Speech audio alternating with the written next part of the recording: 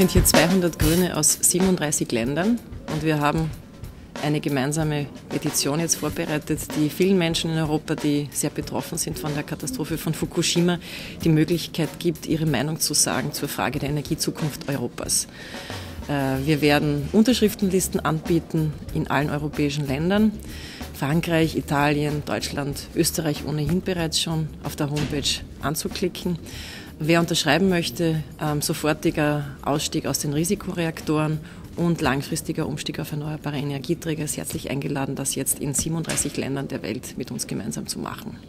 Die österreichischen Grünen gehören mit Global 2000 zu den ersten, die eine Petition für den Ausstieg aus der Atomkraft ins Leben gerufen haben.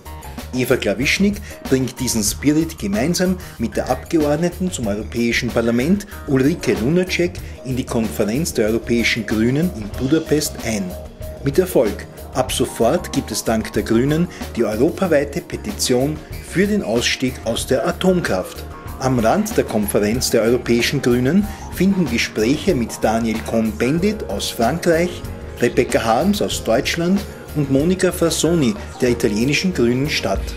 Gemeinsam treten sie vor die Presse und demonstrieren als europäische Grüne Einigkeit in der Forderung nach einer atomfreien Zukunft.